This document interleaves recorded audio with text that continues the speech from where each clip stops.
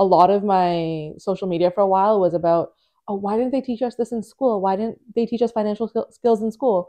And like, I mean, not to get too conspiracy ish, but I feel like, oh, it's so purposeful because if you don't know, then you don't make good decisions for yourself and then you can be exploited. I don't think that's conspiracy at all. I literally think that is why they oh don't teach financial literacy. Yeah. There's so many of my clients that went to their quote unquote trusted bank mm-hmm. and they're mm-hmm. like, help me, financial advisor, help me. I don't know what to do with my investments. financial advisors love those people because they're like, oh yeah, invest your money in this and we'll oh just take God. advantage of all yeah. whatever you don't yeah. know and the clients get screwed and the only people that win are the like the banks people. and the rich people yeah. oh my gosh that was literally what's happening to me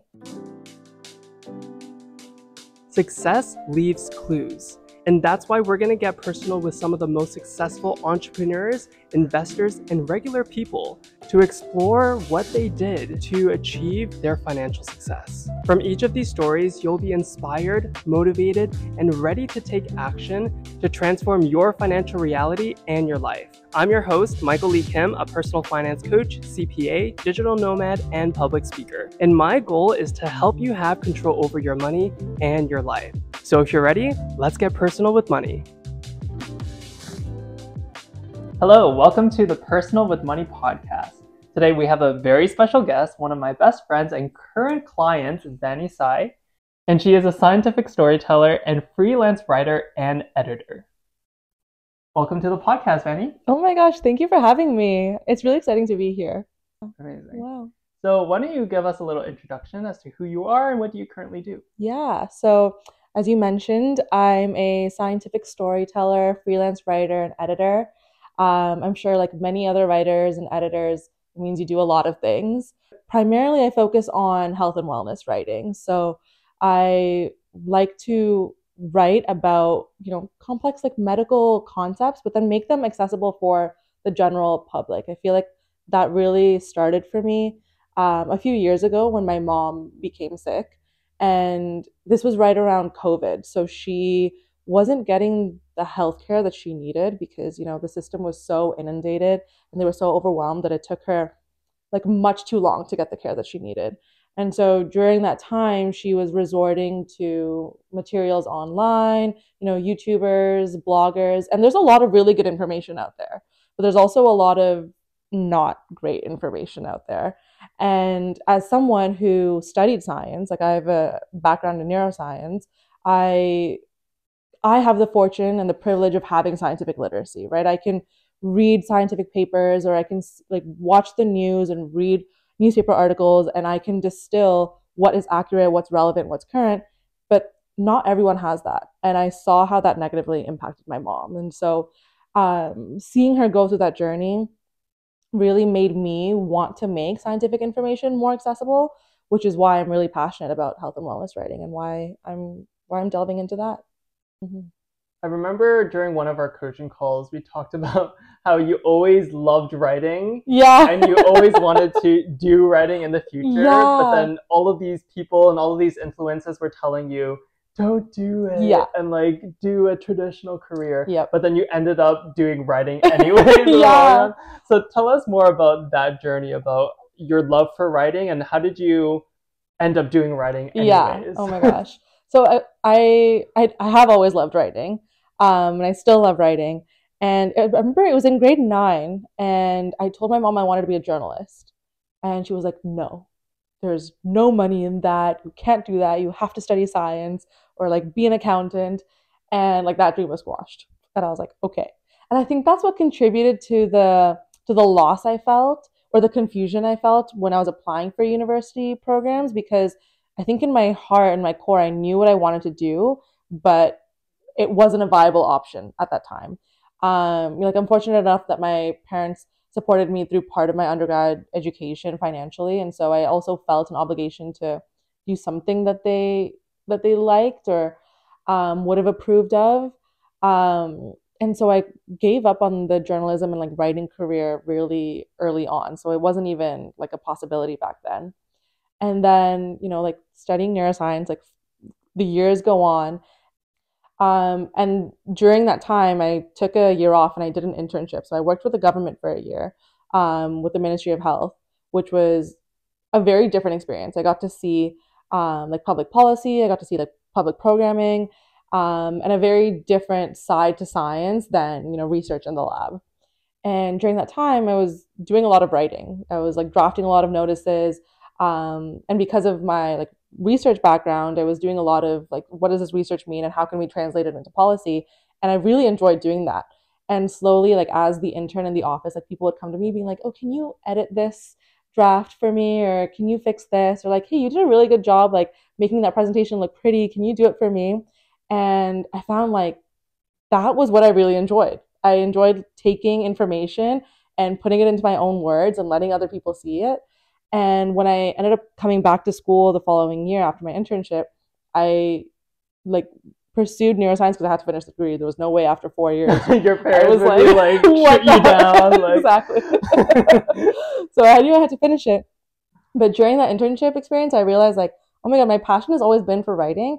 And the thing that was different than like years ago when I told my mom I would be a, I wanted to be a journalist was that I saw that I could be a writer in like any industry.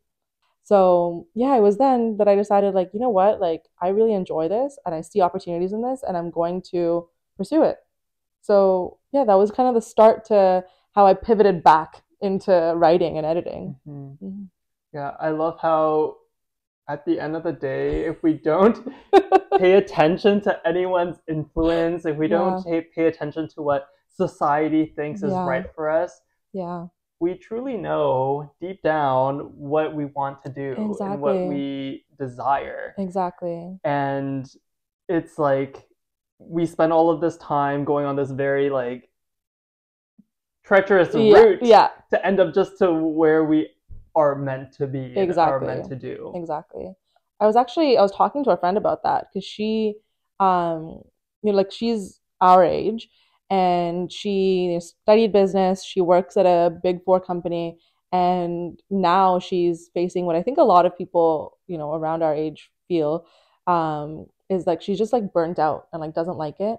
And she was like, you know what? I always wanted to be an animator. Like I always wanted to create animations, and like now she has decided like she's gonna quit her job this year and pursue that creative passion, which is amazing. I'm so happy that she's doing it.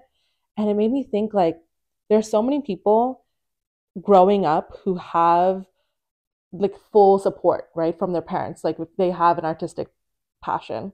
And i think about like if if my mom hadn't said that if she hadn't squashed the dream of being a journalist that's something that i would have pursued from the age of 12 or 13 right? So i would have applied for every like newspaper internship. I would have worked at a publishing house. I would have done all the things like build my resume for the career that I wanted. And I would have been able to give 100% of my energies to the career that I wanted from the beginning.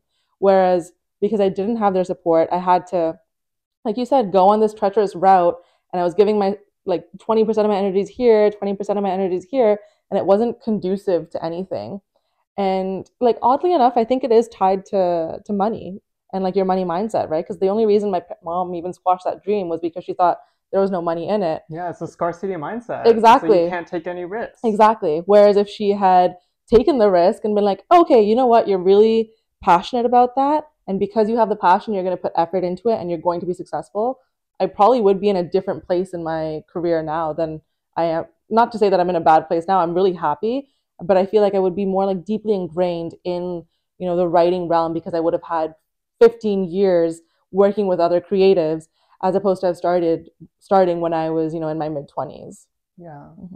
I feel the exact same way, especially when it comes to accounting. Like yeah. I studied accounting and finance, and a lot of my peers they actually like accounting and finance. Good like for them. Good one for of my, them. Yeah, good for them. like one of my friends is a tax consultant. Oh my gosh. I hated tax. It was like the most complicated thing. It yeah. was so difficult yeah. and I studied it and I like passed the exam, mm-hmm. but like for me to compete with her in a career, she's going to surpass me significantly because she actually likes tax. Right. Like she will study tax and will like perform it because she's like, oh, this is so interesting. Mm-hmm. And I couldn't give a shit about, it. And so same. that's the thing. It's like at the end of the day, the people that are going to be successful are the people that are the most passionate exactly. about what they actually like. Absolutely. And so if you want in whatever career, whether that's art, accounting, tech, you have to actually enjoy what you're doing mm-hmm. because mm-hmm. that's what's going to distinguish you from all of your competitors. Yep. Absolutely. Yeah. Yeah. And I mean, not not worth nothing. Like we're lucky that we found these passions at some point in our life, right? Some people don't ever discover them or some people find them like on their deathbed. So at least we have the rest of our lives to pursue these passions. Yeah. Mm-hmm. And it goes also a little bit of privilege. Like we are in a very privileged situation where exactly. we do have the opportunity to think about what yeah. fulfills us, yeah. what makes us happy. That is true. Exactly. Some people, like our parents, yeah. like my mom, she's a nurse. She like had to work as, a, as a nurse in order to provide for her family, mm-hmm. and that was her way of being fulfilled. Mm-hmm. But like as her child and for all of the sacrifices that she did of doing a not very fulfilling career, yeah.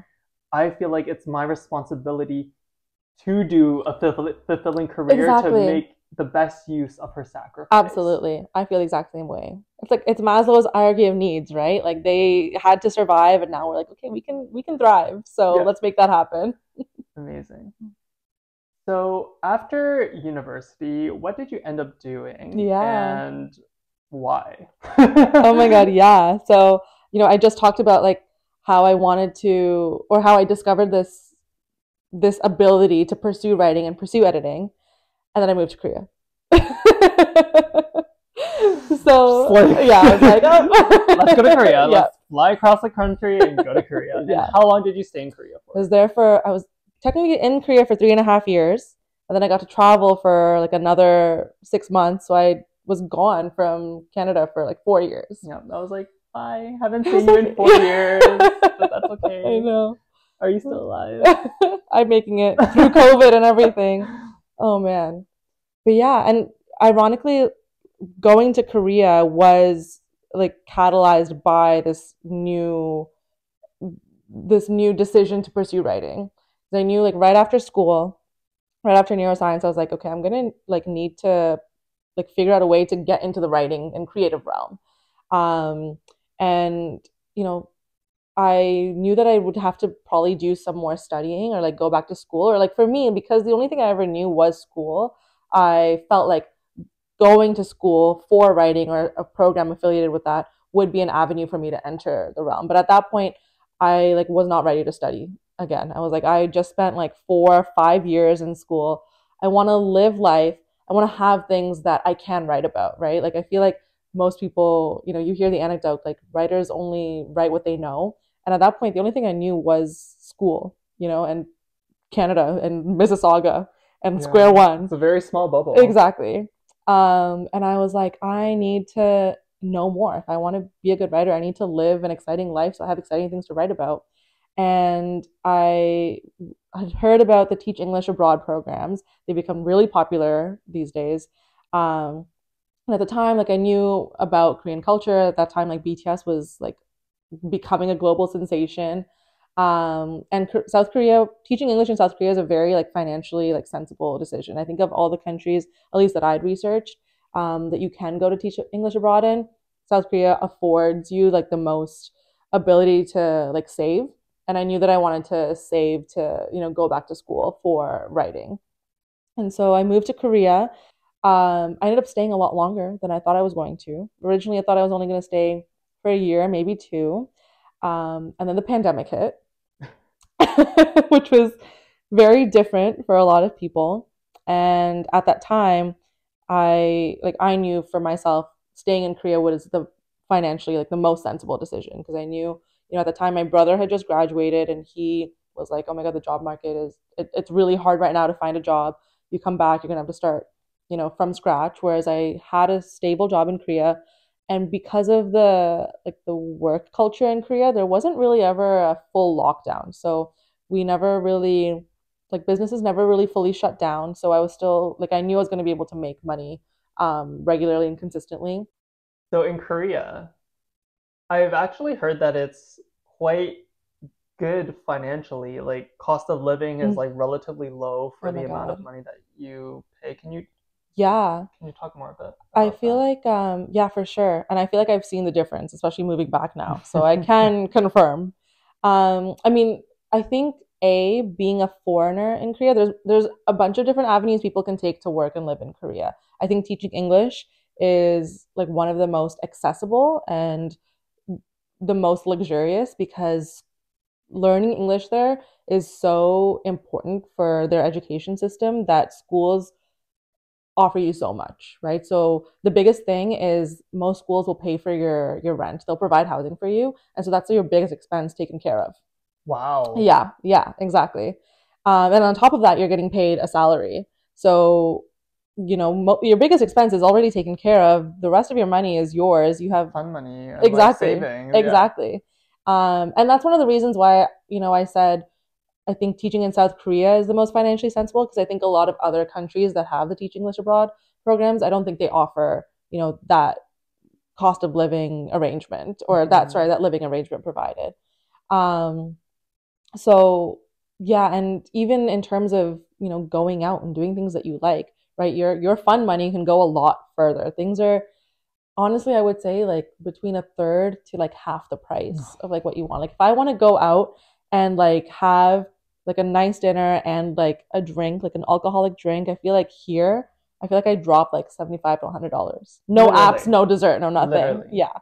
Um, whereas there, like you know, the same thing, you probably like thirty dollars, and and like it goes so much further. So you can do more things and you can enjoy more things, um, which is honestly like I think so important, especially like being young. Like you don't want to be cooped up in your house because things are so inaccessible, right? Having fun is inaccessible. And I think that's what made Korea really exciting and why I have so many good memories there because, you know, your fun money could go so much further and I could build all these memories and and do all the things that I wanted to do to make life exciting. Yeah. I want to dive a little bit deeper as to this disconnect that you had with mm.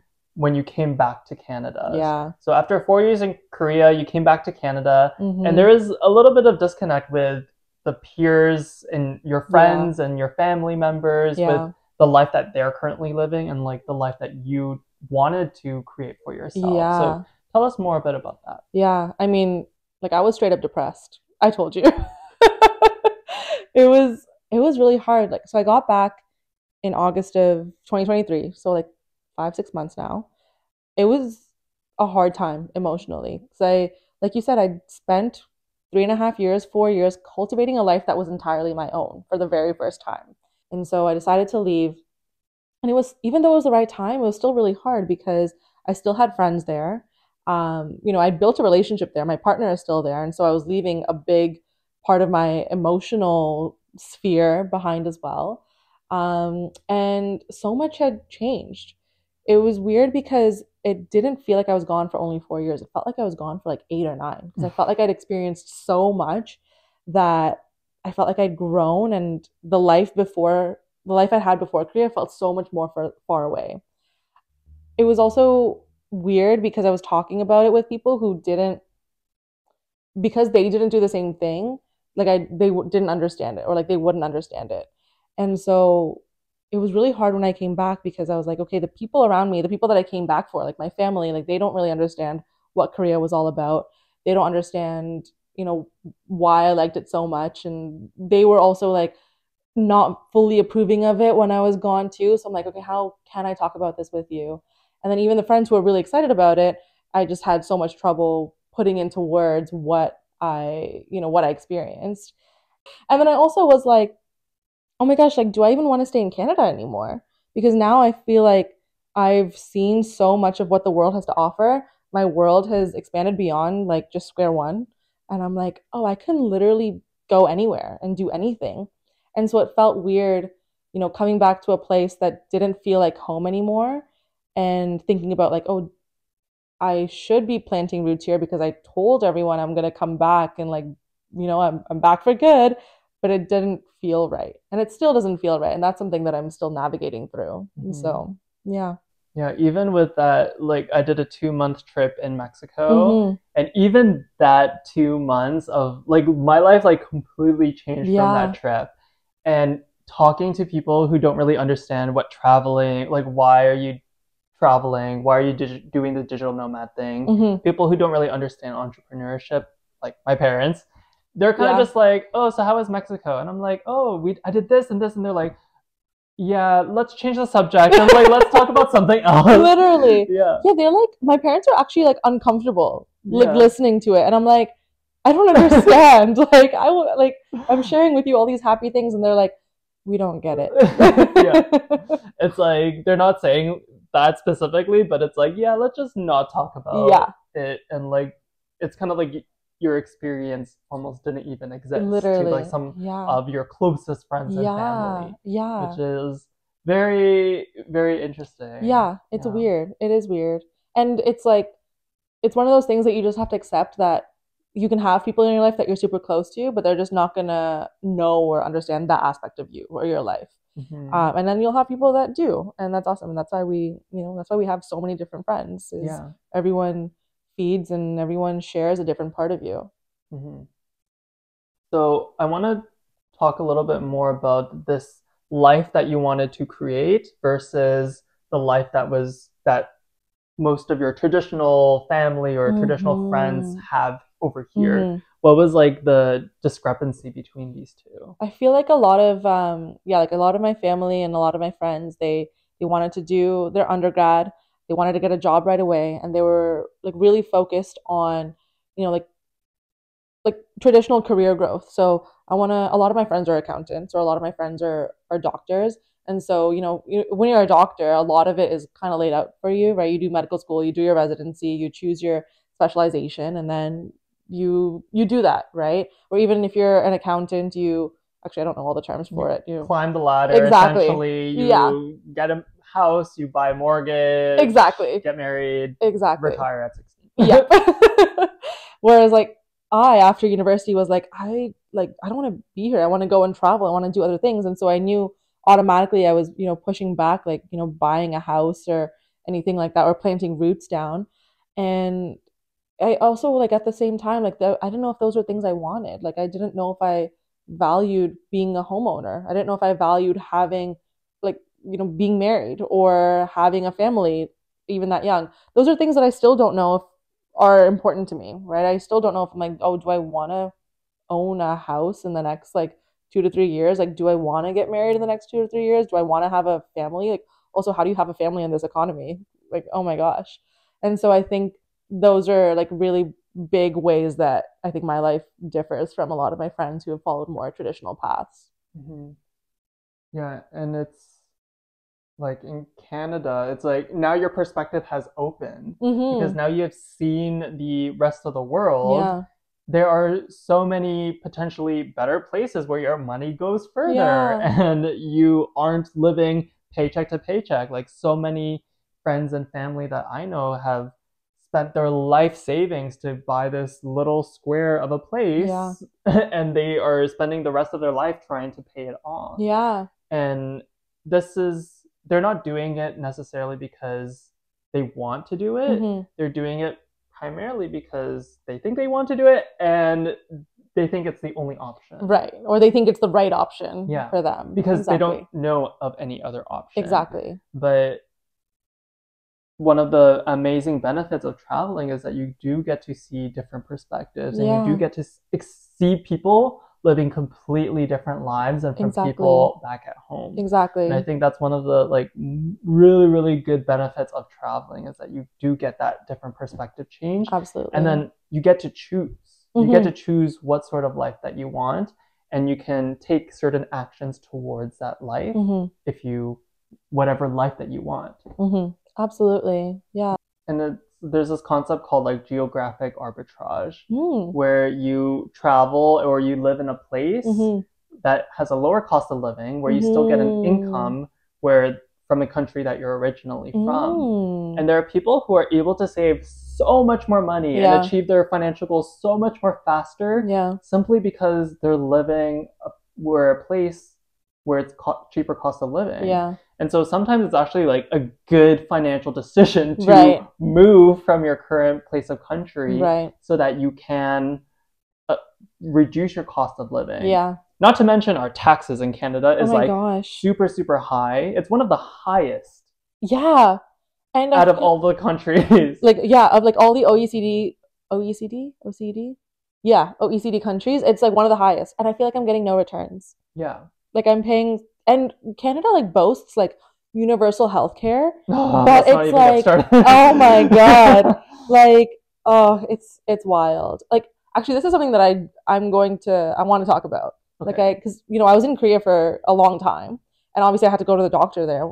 And the system there, I don't you know, I don't know all the intricacies of the system. At least I, how I know it worked for me was y- you have an employer, you contribute towards what's called the National Health Plan or the National Health Scheme, and your employer matches, so 50 50. And then that go- goes towards, I think, what is like their public healthcare system. But like in Korea, you don't you don't need a referral to go to a specialist. You can also walk into like any doctor. So like if I want to go to the dermatologist, I can just walk into the dermatologist and they'll have all of the equipment that they need there to like assess me and like test me and like give me my results right away. Whereas here, it's like you have to go to your GP if you have a GP, and then you need a referral to go to the specialist. Then you go to the specialist, they tell you to get a test. Which then you have to go- months. Exactly. But then even the test is like you have to go to like a different like radiology clinic to get your test or like a lab workplace to get your t- labs done, and then your results get sent to another your GP again. You have to talk to. You. I'm like, oh my gosh, this is so inefficient. Whereas within 30 minutes, I can have all my results, and I'm like, I feel like that's what I should be paying towards. I should see the returns of what I'm paying for. exactly. Man, I know so many of my friends, of my clients, parents who they get sick. Like they Yeah. literally get diagnosed with cancer, like stage two, stage three Mhm. cancer in Canada. yeah, And then they have to get treatment in another country. Like one of my friends just went to. Korea. oh my gosh. Another one of my friends went to Hong Kong to Oh my get treatment. Because so in Canada, they're like, yeah, it'll take um a few months for for you to get any sort of just to even see the next doctor Oh my gosh. because they're not quote unquote dying or on the deathbed. Right. Yeah. But it's like okay, by the time they get to the doctor, they will They will be- probably be, Exactly.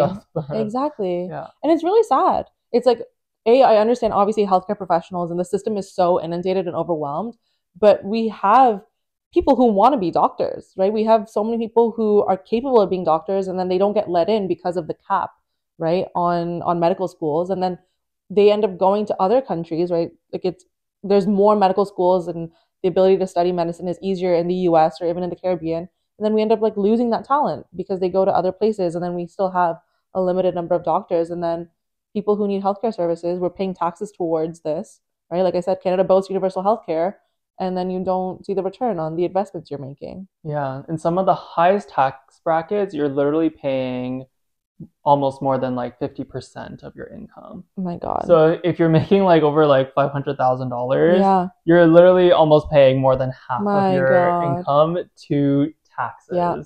And so this is the reason why a lot of rich people, they learn how to keep more of their wealth Mhm. by paying less taxes. Mhm. And as a CPA and as someone who studied tax, like this is essentially the rich people know how to play the game, the tax game of pay, paying less taxes and keeping more of their income. Mhm. And so you would think that the rich people pay most of the taxes, but in It's reality, it's the middle class that Wow. pays most of the taxes. Yeah. Because the middle class are just regular people, like my mom, like my our our parents who work yeah our parents. regular jobs like a nurse or Mhm. like a regular office job. And they are the ones paying most of the taxes because they don't have access to these tax professionals and Mhm. tax consultants that are creating all of these financial structures so that they can pay less taxes. They just have to pay whatever canada tells them to pay. Exactly. Oh my gosh. And it's like they have the financial literacy to make those decisions for themselves i feel like um a lot of my social media for a while was about oh why didn't they teach us this in school? Why didn't they teach us financial skill- skills in school? And like i mean not to get too conspiracy ish but i feel like oh it's so purposeful because if you don't know then you don't make good decisions for yourself and then you can be exploited. I don't think that's conspiracy at all. I literally think that is why they Oh don't teach financial literacy. yeah. There's so many of my clients that went to their quote unquote trusted bank and they're Mhm. like, help me, financial advisor, help me. I don't know what to do with my investments. they financial advisors love those people because they're like, oh yeah, invest your money in this, and we'll Oh just take God. advantage of all Yeah. all of whatever you don't Yeah. know. And the clients get screwed, and the only people that win are the like the Rich banks people, and the rich yeah. people. Oh my gosh, that was literally what's happening to me until we did our sessions, and I was like, oh my god, my money is in all the wrong places. yeah. so let's talk about our coaching sessions Yeah. together. So tell me about why you decided to to join my coaching program in Mhm. the first place. Like I don't have financial literacy. like I don't have the skills that I need, or at least I didn't. I have them now, but I yes, but I you know I went like 25 like 26 27 years of my life not making the right decisions for myself because I didn't have the skills I needed to understand money and finances and coming back to Canada like I you know I, I didn't really feel the the detriment of it or the I didn't feel the consequences of it while I was in Korea because I you know I had a stable income and I it was secure cost of living was so much lower and I had a plan in terms of where my money went and how to pay off my OSAP debt and things like that. But as soon as I moved back to Canada and I decided to pivot into freelancing full time, my entire financial like landscape changed and I felt so lost. I didn't know how to take control of my finances. And so it kind of like the timing of it was perfect, really. I was going through this huge financial transition and this it seemed like the right time to to delve into it. Amazing. hmm I'm so happy that we're able to work together. Me too. oh my gosh, yeah. So, what sort of things did we talk about, and what sort of things did you maybe what sort of things did you need help with Yeah. in the beginning? I think um, a lot of it was under a under, understanding my like my financial landscape, right? So like going from having an office job and having you know a stable, steady or consistent income into freelancing, where at least right now for me, like it's more inconsistent. Like I don't get the same paycheck every two weeks from one employer, right? It comes from multiple sources of income. Figuring out how to manage that and then also figuring out how to manage my expenses because now like I've built a certain lifestyle because I enjoyed a certain lifestyle in Korea and living that same lifestyle in Canada is way more expensive, right? And so understanding how to navigate that what without sacrificing, you know, desires or you know being there for your friends or being there for your family. Um and I feel like those were like two really big things. And I think also I'd come back and I'd part of what we were talking about earlier, where I saw some of my friends being in completely different spaces than I was, even though we're on different paths, in a lot of ways, I felt like I was behind them, right? They, because they'd stayed here and they'd built careers for themselves and they'd made, you know, investments, they'd built financial literacy and they'd built a financial landscape for them for themselves that I aspired to, right? They had an understanding of money that I didn't have because I didn't have to think about it, or at least I thought I didn't have to think about it, right? And I was like, oh my gosh, this is like I can't keep living like this. Like I need to have that knowledge. I need to have those skills. And so even comparing myself to my friends, I felt like I just need to learn more about investing and saving so that I can have the future that I want to have. hmm Yeah, I think in the beginning we don't really see the impact of the lack of financial literacy. We're Yeah. just like, uh, just living life and Yeah. like trying to just get day by day. Yeah. But then as time goes by, as you know, some some of your peers are going to be making investments Mhm. and like making certain financial decisions, you start to see the the the different paths Exactly. and where those different paths lead. Exactly. It's kind of like we're both at the starting point. Like, let's say you're flying a plane. Yeah. It's like we, we're both in Toronto and we're from the starting point, and like they make a little degree change this way, hmm and then you start to see like, oh my gosh, like just that one little degree change completely changed their direction, Exactly.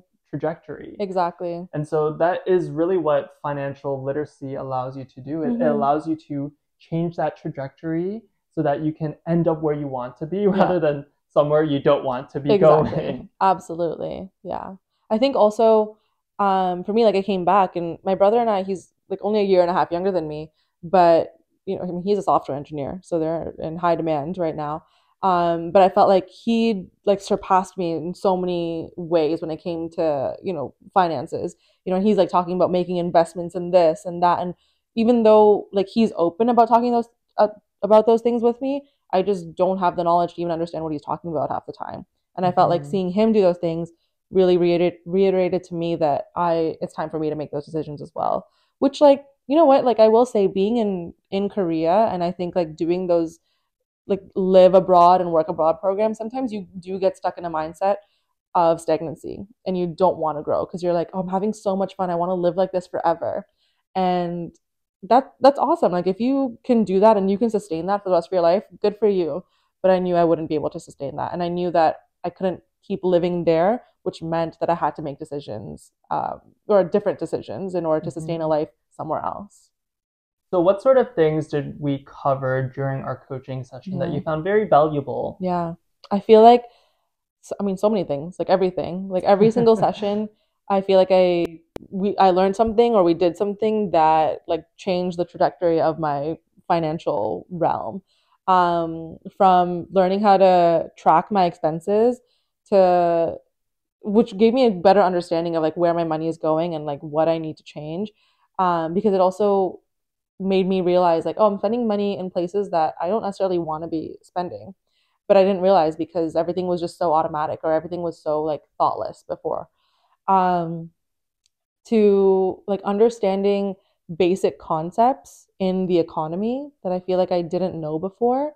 Um, when we were talking about investing, and I'm like, oh, like I don't think I I didn't know what a stock and a bond was. And I'm like, that's like I don't want to say it's stupid because I'm sure there's other people that are my age or even older than me that also don't know. But like now that I know, I'm like, why didn't I know this before? Um, or even things like I remember you said to me, um, like the people you talk to in banks, like they're not actual financial advisors, like they're customer service representatives. And I was like, I've been leaving like the fate of my money in these people. They're literally just salespeople. Holy crap. Like that's stuff that I didn't know. And Mhm. so I think I think there's been just like a general or like steady increase in my knowledge of finances that built this bigger and better picture for myself. Yeah. So, for those of you that don't know, the people that you see at the bank are not really financial advisors who are there to make the best decision for you for your for your Yeah. investments and for your future. They are literally just customer service representatives, which means they make a commission off of selling investments to you. So they are literally salespeople. And so Mhm. they don't have to really sell you the best investment product. They're selling you mutual funds, GICs that are very expensive financial products Mhm. that may not even be good for your Yeah. financial future. Exactly. and those are other things I think one of the biggest pieces of knowledge I gained was like the types of accounts and what is actually beneficial for for me, right? So even like a mutual fund, like I didn't fully understand how they worked, but because my financial advisor told me that's where I should invest in, I had money in mutual funds for years and like that wasn't a conducive decision or like a productive decision for me Mhm. um even understanding like what a high interest savings account was. I'm like oh like i was like aren't all savings accounts the same? And then it's like oh no you can actually like benefit off a savings account. Um and like you know the difference between like a tfsa and an fhsa that we talked about recently. I feel like even just understanding the different types of accounts that was so far beyond my reach before. Not that i like could have like i obviously could have just researched it myself but i didn't like i didn't even have the means to do that Mhm. um and I, I don't think i even like had the trust in myself or like the pages selling it to me to give me the right information whereas i feel like working with you because you have this repertoire you have this knowledge i have the trust in you to share with me the information that is accurate and is helpful and is fruitful for for my goals hmm Yeah, there's just so much information out there, Mhm. and it's it is very overwhelming. yeah Like there are like you know so many different savings accounts. Every bank has their own savings account. Yeah. There are you know you can open up a TFSA with any bank. mm-hmm. There's so many different ways and decisions that you have to make. exactly It's it really is information overload, and I think a lot of people get into this mode where it's like analysis paralysis, Yeah. where they're just overwhelmed with all of this information Mhm. with YouTube, Google, that they just can't even make a decision. Like Exactly. they're tired from work. They just don't want to worry about their finances right now. Exactly. You know, they just finished an eight hour shift. So it's like, yeah, we'll just do that later. Exactly. And then that later never happens. exactly. Tomorrow never comes. Exactly. Yeah. yeah like even as we were talking about earlier today um when you have all this information but you don't know how to personalize it to you and i feel like actually that was the biggest like gift from this coaching these coaching sessions is like you had the information but then you could distill it and then apply it to me based on like information that you had about my financial realm which is not anything that i could have done. I feel like whenever i would go to my bank and i would talk to the financial advisors i'd be like what do you think is best for me? Because i just i didn't want to think about it.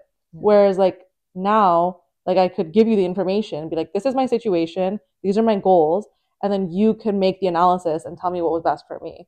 And that was like literally all i've ever wanted in my life. I'm like oh my god thank you And the thing is, this resource, other than my coaching and like money coaches, Mhm. is not available to people from middle class families. yeah If you go into the bank and you have over a hundred thousand dollars in assets, Mhm. that is the only time when you will actually be given and seen with a financial Wow. advisor. wow So if you have anything under a hundred thousand dollars, they're like, don't even bother. that's so unfair Yeah. that's so unfair So the only people that are getting help are the rich people. yeah People who come from lots of wealth, they have generational wealth, yeah they are getting the financial support so that they can keep more of their money by paying less taxes and grow their money through the proper Wow. investments. wow If you have anything less than $100,000, you're not they're not going to talk about your financial not on your radar They're not going to help you choose the best investments for your financial future. They're mm-hmm. just like, yeah, we're just going to sell you what is beneficial for us Yeah. and you're not going to even know Yeah. because you don't have any financial literacy. that is so exploitative but Yeah. it's like now i've taken that away from them which is awesome but that's like so sad Yeah, that's so unfair very I can't unfair. believe we live in a society like this. And yet we do, so I have to believe it. Yeah. Yeah. So, what do you how do you feel right now with your current finances? I feel like I'm I have a lot more control. Like even after our first session, I feel like literally uh, like we we spent like two like an hour or 2 hours together and then I literally like got rid of my debt. yeah, I you, you, you became 100% I was like, debt-free. "Oh, I'm debt free Like- after 1 hour together." that was pretty easy. Yeah, I was like- but it, and it was like, "Oh, that's so easy." But I would never have thought of managing my money that way or like allocating my money that way. And it's like, oh, you had the knowledge and you had the information, and then you made the decision that was best for me. Because I was thinking like, oh no, if I allocate things this way, it's actually better. No, like that was stupid, really. Um, so I feel like I, I feel like I'm in more control, and I I love doing things. I feel accomplished when I when I finish tasks, and I feel like after every session, there's been a task that I can accomplish that's within my reach, and it's gotten me so much further ahead.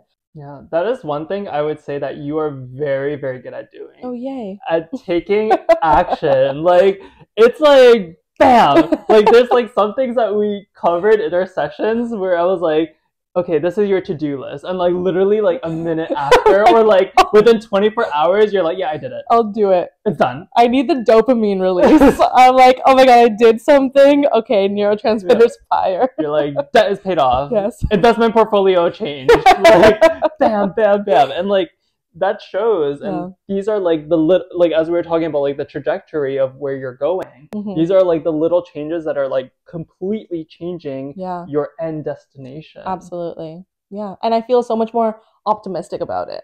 Right, that's something else that's changed. Is I feel confident now that I am going to attain those goals. Whereas before, I was like, maybe I'll get there. Like I think it could happen if I do this.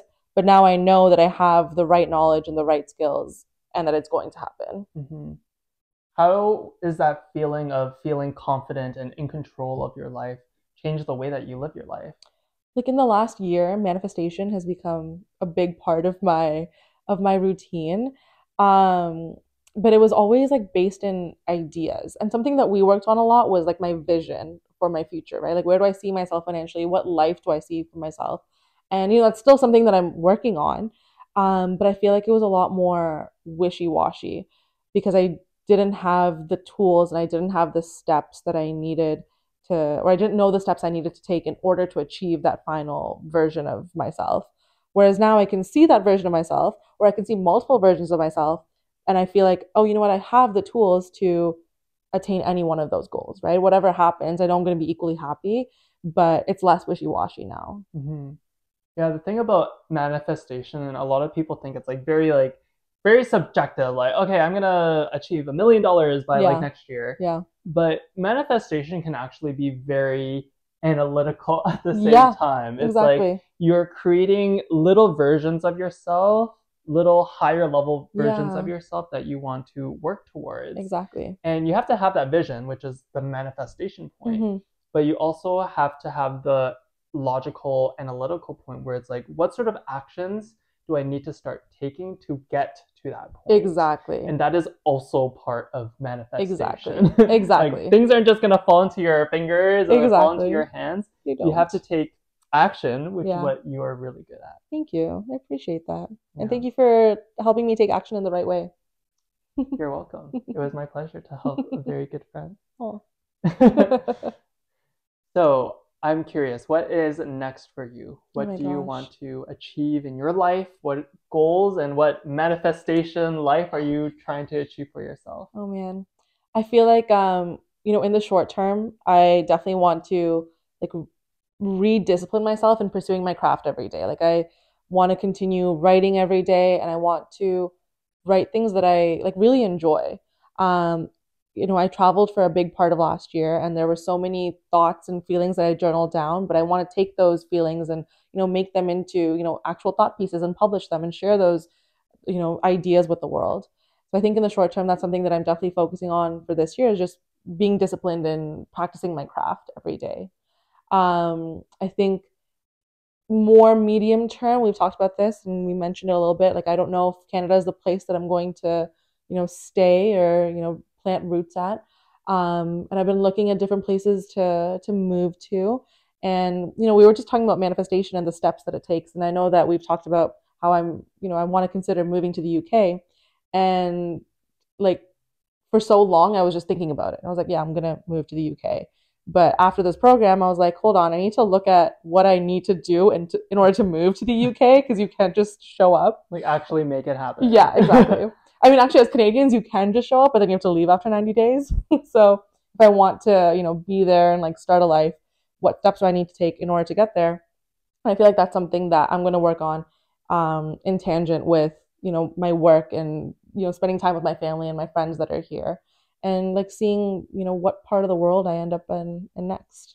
Amazing. hmm And I think that's one of the benefits of personal finance. It's yeah. like you don't know where you're going to end up. yeah. You don't know what sort of life you're going to have 10, 20 years down the line. Yeah. Like you might have an idea, but like things are 100% going to change. Absolutely. But the benefit of taking care of your finances today hmm is that you're setting yourself up so you have those options. Exactly. So you have the flexibility to choose between living in Canada or in the UK Absolutely. or you know having a family or not having the family. Absolutely. You never want to be in the situation where you're like, "Oh, I have to stay in Canada." Exactly. Or, "Oh, I can't have a family." yeah, like exactly. that's a pretty not great situation to be. Exactly. Yeah. Having money is having choice. Yeah. Which is awesome. That's powerful in itself. Very powerful. I love that. Amazing. Well, Thanks. if people want to learn more about you, you are a freelance writer. Mhm. So if they have any opportunities about like writing or they want to learn more about freelance writing, where can they find Yeah. can they find you? Awesome. Yeah. Um, I'm on Instagram. That's like probably the easiest way to find me. Um, maybe we can leave my at or something somewhere because it's hard to remember. my Instagram is dosas and diamonds. Um, and that has a story all in itself. If uh, you do end up being interested and you want to look at my blog, I share the the history of the name and the origins of that name. But yeah, so I'm on dosas and diamonds. And if you want to learn more about my writing or my editing career, you can go there. yeah, feel free to reach out. Vaani is open to chat and open to meet with anyone. Yeah. I love meeting people. I love talking to people and I love learning from other people too. So anytime you or anything you want to share, I'm more than happy to hear. Amazing. So I'll leave all of or your link to your Instagram in the Sounds good. description below. So if anyone wants to reach out, they will reach out. Sounds good. Thank you so much. Thank you so much for having this conversation. I loved it. No, I appreciate it. And I feel like even though we've talked so much over the last like few months, I feel like we got to talk about more, and I feel like I have more to think about now, Yeah. which is awesome. This was the reason why I started this podcast for a selfish reason to like just have great conversations Yeah. with amazing people. Oh, you are one of my most favorite people. that's so sweet. You are too. Love Yeah. it. Thank you so much. Thank you. I hope you enjoyed this episode of the Personal with Money podcast. If you found any value with the conversation that we had today, make sure to share this episode with a friend who needs to hear this message. And make sure you subscribe and follow so you're notified when I release a new episode. Also, I'd really appreciate it if you can give this podcast a five star review on Apple Podcasts or Spotify so we can reach and help more people just like you. Lastly, if you're ready to take action and have control over your money and your life, then come work with me in my private coaching program. To learn more, go to michaeleekim.com forward slash coaching or shoot me a DM on my Instagram and let's chat. That's it for today, guys, and I'll see you next week.